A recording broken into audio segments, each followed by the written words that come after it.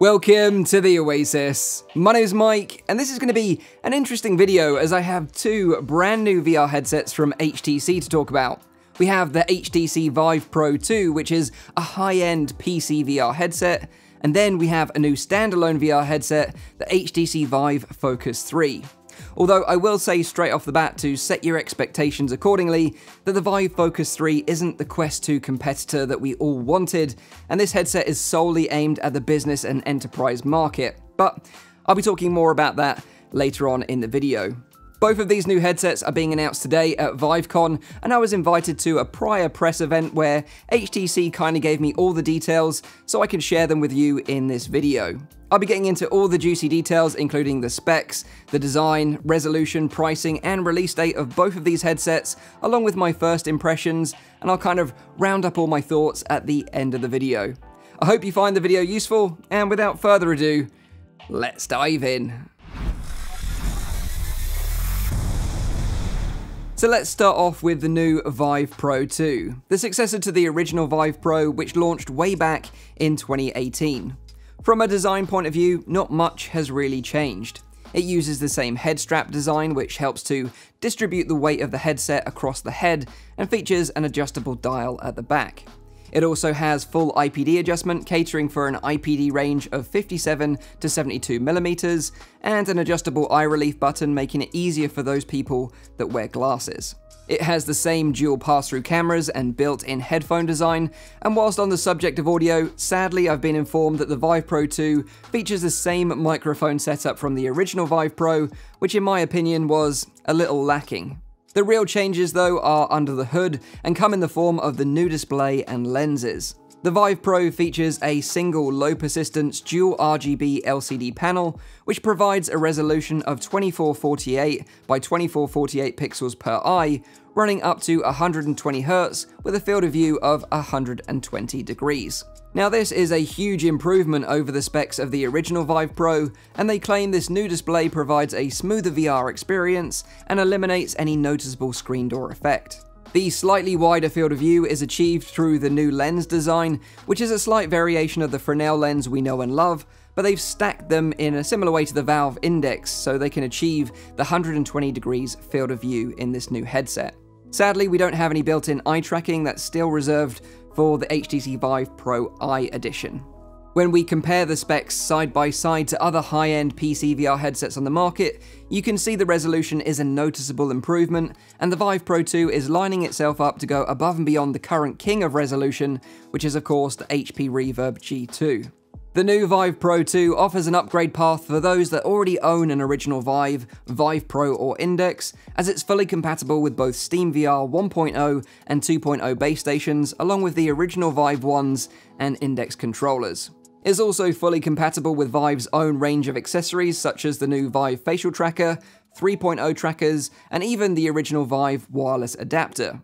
You can buy the headset on its own as an upgrade with pre-orders starting on the 11th of May prior to the headset going live on sale on the 4th of June. Vive are offering a special price for pre-orders at 659 British pounds, 749 US dollars, 739 euros for the headset alone.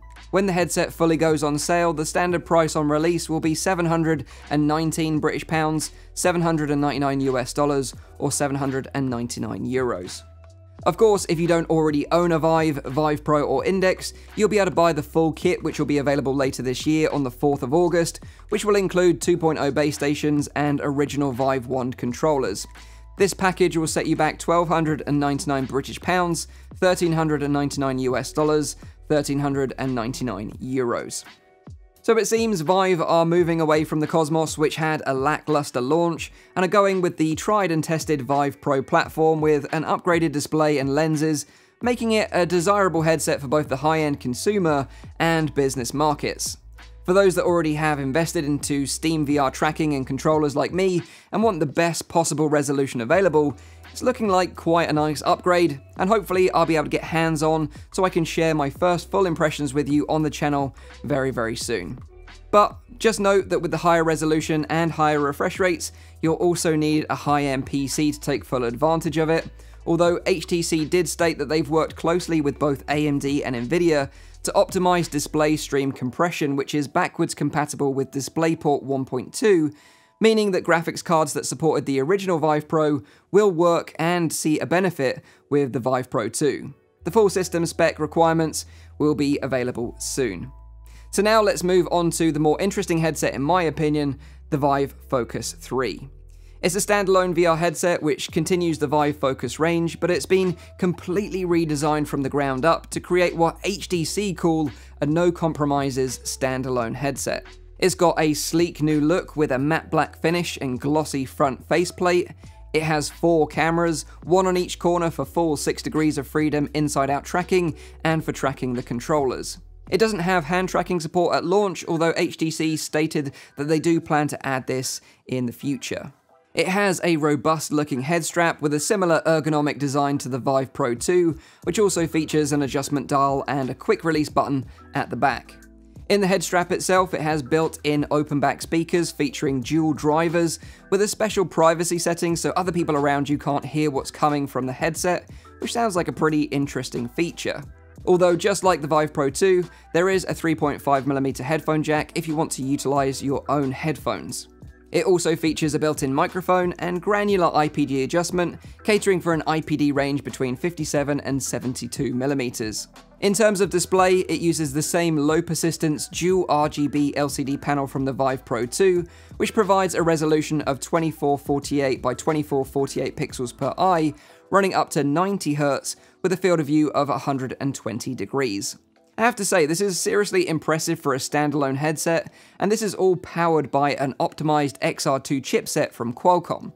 Talking about power, one unique thing about this headset which sets itself apart from the competition is that the Vive Focus 3 has a swappable battery pack, so you never have to worry about running out of juice and having to charge the headset, you can just swap it on the go and this will be an important feature for business users, although it's not clear at this time if the headset has a small battery to keep applications running whilst the batteries are being swapped out.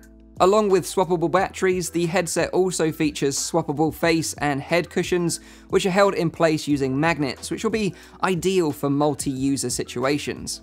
With all this tech jammed into the headset, HTC have kept the weight at a minimum by using a lightweight and durable magnesium alloy frame, which they boast is 20% lighter and 500% stronger than traditional plastics. Now, although this headset is designed to be used standalone, HTC have also confirmed that it's compatible with Steam VR when connected to a PC using a USB-C cable. Moving on from the headset to the controllers, we see a familiar inverted tracking ring design, similar to that of the Quest 2, with the same button layout, grip, and trigger buttons, along with thumbsticks. The only key difference is that these controllers are charged using USB-C instead of using swappable AA batteries. The headset runs its own home environment called the Vive Reality System 2.0, where businesses can launch their own bespoke applications. When we compare the specs side by side with other standalone headsets, the Vive Focus 3 is definitely setting a new bar as the highest spec standalone headset on the market so far, which makes it even more disappointing that it's only for business use. The Vive Focus 3 will be available from the 24th of June to business customers for 1,060 British pounds, 1,300 US dollars, 1,180 euros, and this includes 24 months of Vive business warranty and service support. This obviously sounds very expensive for us consumers, but just remember that this is for enterprise use and is priced similarly to the competition with both the business version of the Quest 2, which is 799 US dollars with 180 US dollars yearly support license after the first year, and the just announced Pico Neo 3 Pro, which will roughly cost around 888 US dollars. I have to say though, I'm really digging the design of the Vive Focus 3. I think it looks like a really sleek headset, and it's impressive that it uses the same display technology as the Vive Pro 2, but all built into a standalone headset. I guess they're really leveraging the power of the Qualcomm XR2 chipset.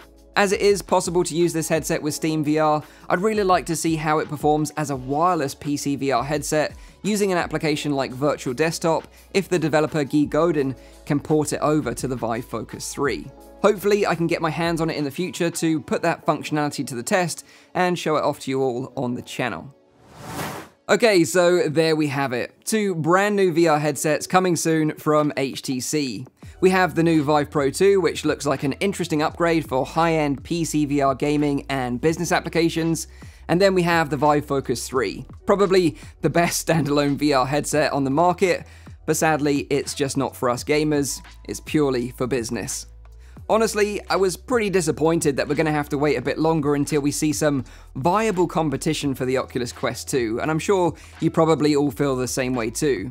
I did say to HTC during our meeting that I appreciate they can't compete with Facebook when it comes to price, but a stripped down Vive Focus 3 headset without some of the business features like the swappable battery and magnesium alloy frame and business support package, even at twice the price of the Quest 2, would probably be of interest to a market of gamers who want the highest spec standalone headset available, and of course, don't want to be associated with Facebook.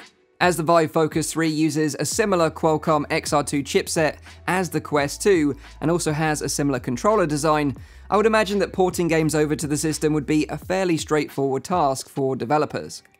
I think the best thing we can do right now is to just tell HTC what we would want as VR gamers and also what we would be willing to pay for it, and hopefully they'll listen to the feedback and possibly even bring this Vive Focus 3 headset to consumers in the future. If you are interested in a Quest 2 competitor, it looks like that might come in the form of the Pico Neo 3, which just had its launch event yesterday and it will be coming to the West in the summer, with an array of VR game launch titles we already know and love, such as Red Matter, Synth Riders, 11 Table Tennis, and Contractors, just to name a few. If you're interested in learning more about the Pico Neo 3 headset, maybe I can cover it in more detail in a future video. But of course, let me know what you all think in the comments down below. Would you be willing to pay 600 US dollars for a stripped down Vive Focus 3 aimed purely at gamers? Maybe you don't care about the standalone headset and you're more interested in upgrading to the Vive Pro 2. I'd love to know your thoughts in the comments down below. Leave a like if you enjoyed the video, make sure you're subscribed for all my future VR content, and as always, I'll see you on the next one. Cheers.